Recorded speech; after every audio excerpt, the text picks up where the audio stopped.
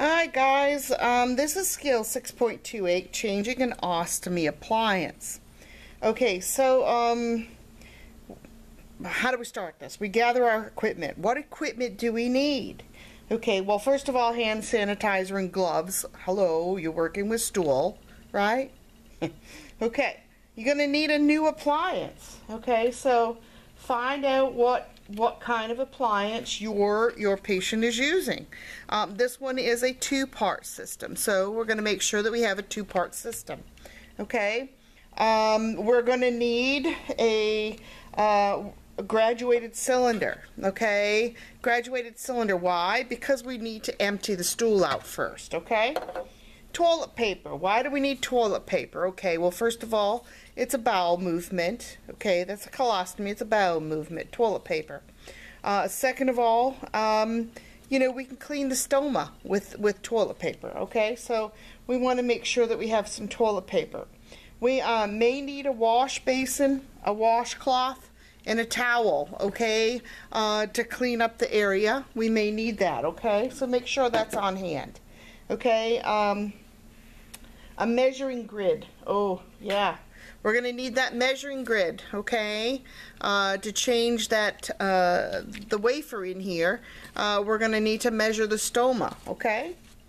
Um, we may need skin barrier, okay? Remember I told you about that um, uh, paste, right? Okay, so um, we may need skin barrier and um, we we are going to need um, scissors. Okay, scissors. Yep. All right. So those are the equipment that we would need. So we did hand hygiene. We'd put on clean gloves. We'd do all of our wipes and stuff. We'd get our patient in a comfortable uh, uh, position um, in order to assist with uh, changing of the colostomy. Now this could be a lying down position or it could be a sitting up position. Could be a standing position over the toilet too, right? Okay. Alright, so um, we're going to unfasten the belt if the client was wearing one. Okay, so some people that are up walking around um, put a belt on.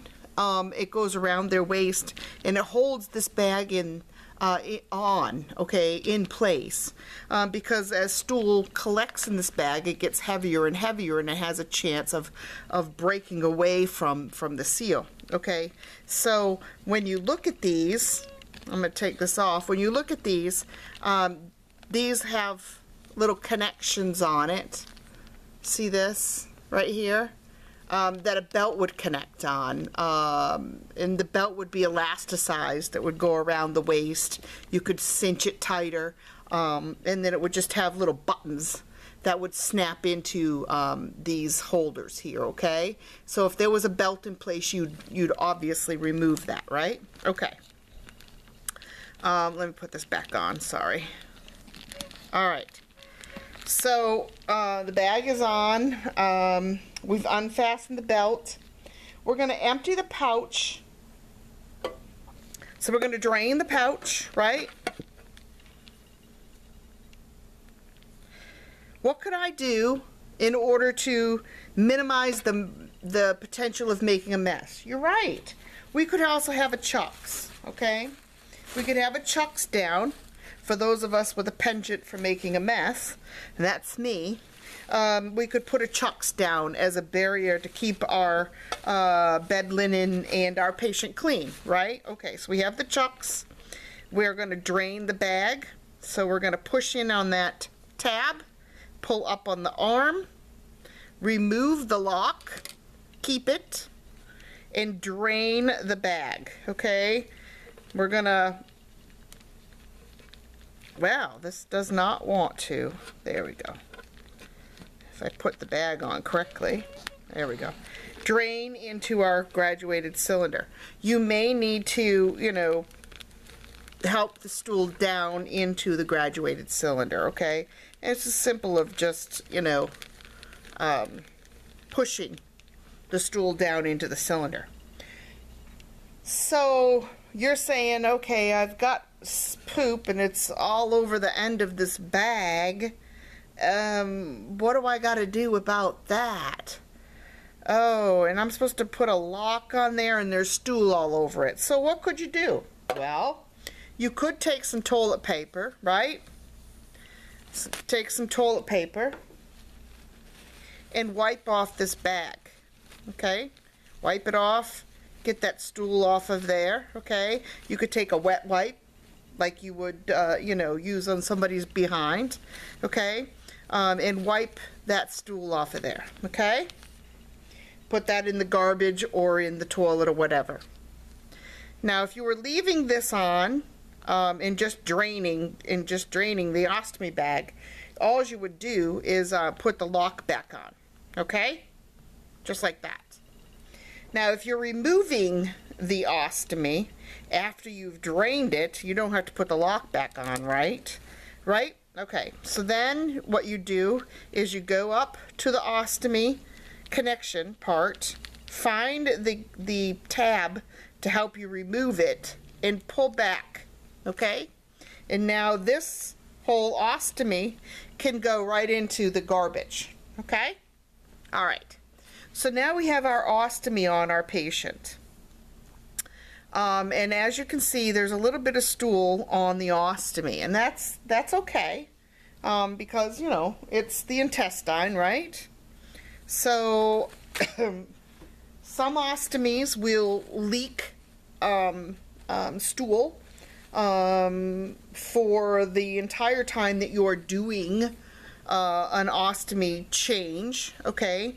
And so you may have to um, put some toilet tissue over um, the ostomy um, while you're doing that. Some, some are not. Some just need uh, a gentle cleaning off, okay? If the patient wants, you could at this point, um, you know, wash off the ostomy as well, okay? All right, the stoma, excuse me. All right, um, if we were just going to instill a new bag on here, um, we would um, go ahead and just feed the new bag onto the, the holder, okay? The bag is on. You would make sure that the lock is in place, okay? And the patient would be ready to go. You'd reconnect the belt if they had one, and the ostomy would be ready, okay? So let's just pretend that we have to um, change the wafer as well. That's, you know, um, not sticking well to the patient or uh, it's got stool on it and it just needs to get changed, okay? So how do you remove it? Just like any other dressing, um, you're going to loosen it away from the skin of the patient, okay?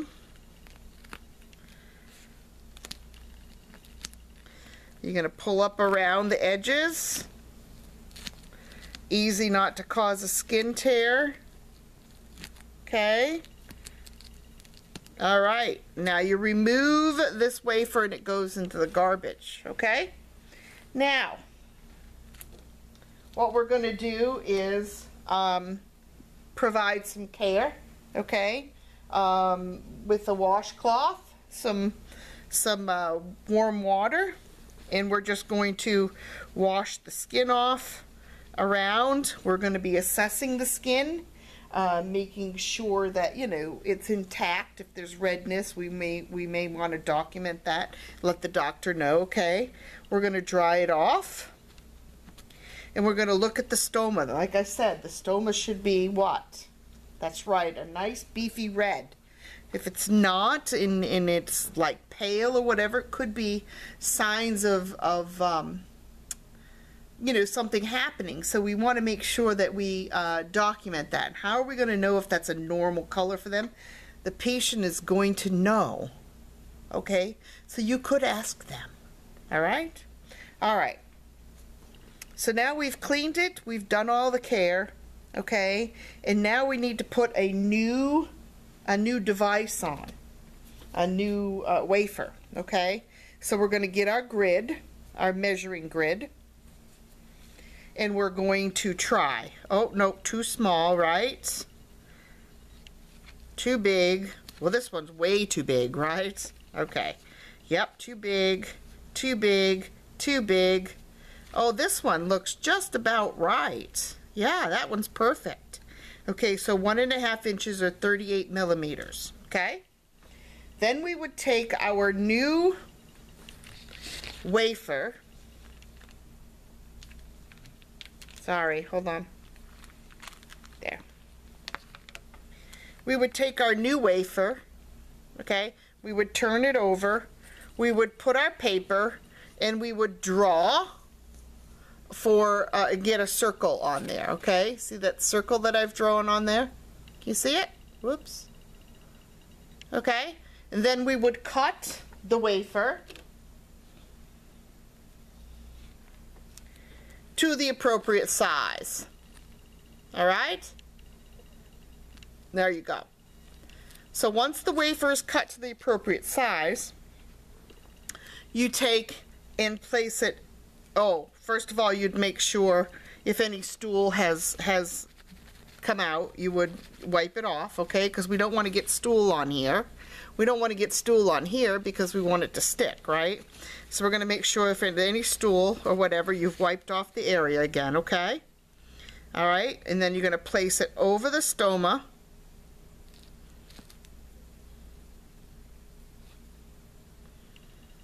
And you're going to work that wafer around the stoma and get it nice and firmly connected to the skin, okay?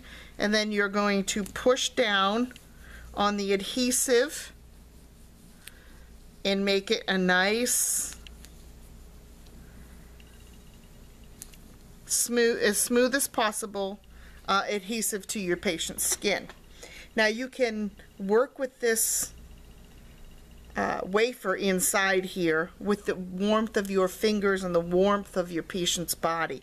It becomes more pliable and you'll be able to um, smooth it out and um, get it to really go around the stoma. You know, you want as little skin as possible showing, okay?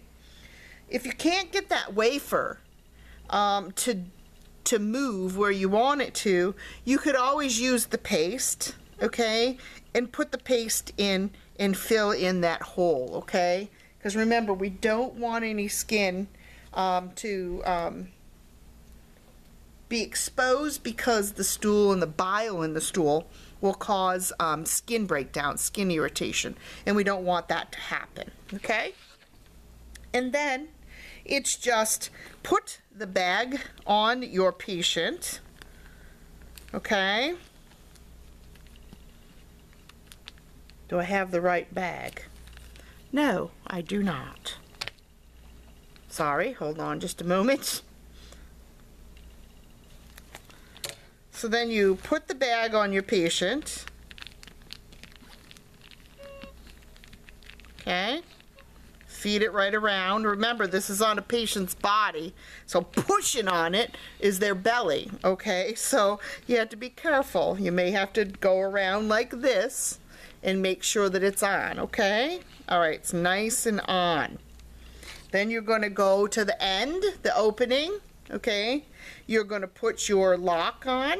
You're going to put the lock, put the bag over it, swing the arm down, and lock it into place. And there is the colostomy, okay? If they had a belt, you'd put the belt on them. You would clean up your supplies, okay? And you would document. Take off your gloves and all that other fun stuff. Make your com patient comfortable. You know all that. Okay? So that is skill 6.28, changing an ostomy appliance emptying a drainage pouch. Okay, thank you.